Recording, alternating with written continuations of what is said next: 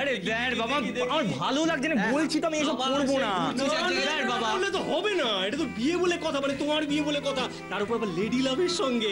এই এই শোনো এই নীলু তুমি একটু ভালো করে ইনস্ট্রাকশন দিয়ে দাও না কীভাবে কি পড়বে টড়বে দেখো। হ্যাঁ প্রতিমবাবু এই ধুতি পাঞ্জাবি ছেড়ে জোরটা পড়তেই হবে। একে বলে জোর।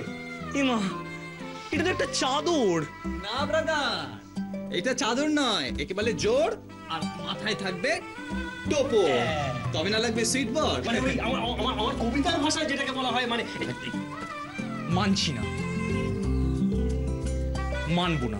আরে বাবা।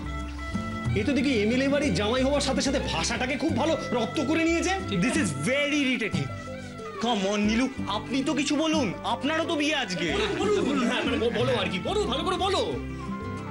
যদি কিছু বলতেই হয় তাহলে আপনাকেই বলব। কি? আপনি আমাকে আর মিমিকে এক করার জন্য তো এত কথা বলেছেন। কিন্তু নিজের মনের কথাটা কি বিবিকে বলতে পেরেছেন? আপনি যে আলাদা করে ওর সঙ্গে কথা বললেন আপনি কি বলতে পেরেছেন যে আপনি ওকে কতটা ভালোবাসেন? আচ্ছা বিবি যখন কথা বলে তখন কি অন্য কেউ কথা বলার সুযোগ পায়? দেরি করবেন না প্রতিমবাবু।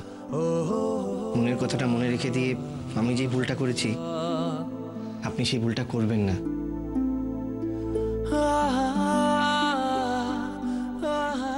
বলব, আমি বিবিকে ঠিক আমার মনের কথা বলব।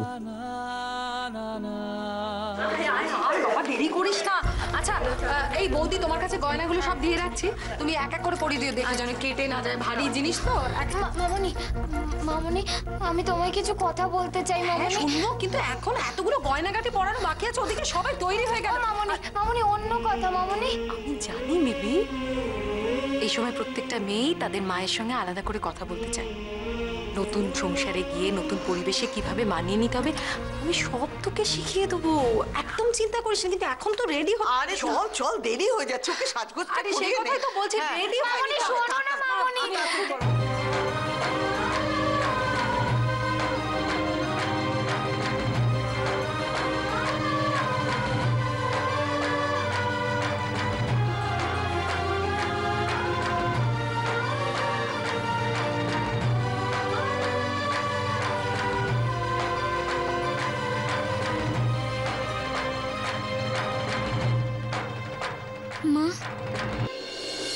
জানো মা, আমি এই বিয়ে করতে চাই না।